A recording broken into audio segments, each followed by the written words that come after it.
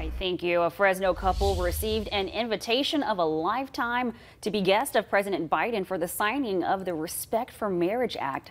Last week, the House passed the act enshrining federal protections for same-sex and interracial marriages. Now the couple is sharing their decades-long journey for justice and marriage equality. A milestone moment on the House floor. The motion is adopted.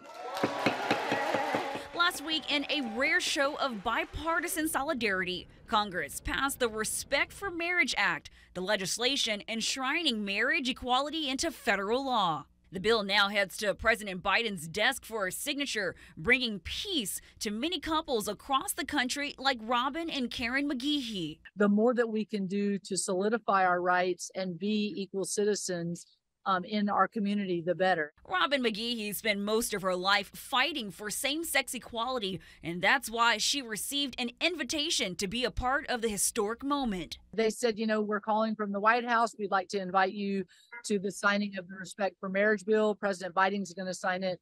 On Monday, the two traveled to Washington, D.C. to stand in for LGBTQ families from the Valley.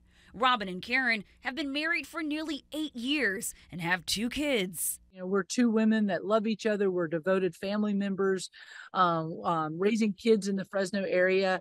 And, you know, our marriage should be no less valuable than the family that lives right next door. This has been their life's work from rallying at Fresno City Hall to the nation's capital. In 2010, Robin was arrested while in front of the White House protesting the Don't Ask, Don't Tell policy.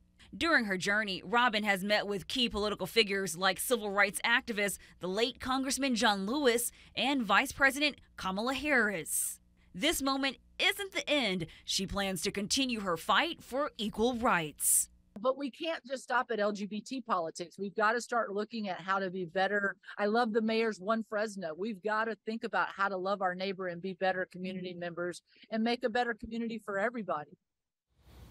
12 Republican senators and 39 Republican representatives, including David Valadao, joined all Democrats to pass the Respect for Marriage Act. President Biden is slated to sign it into law tomorrow.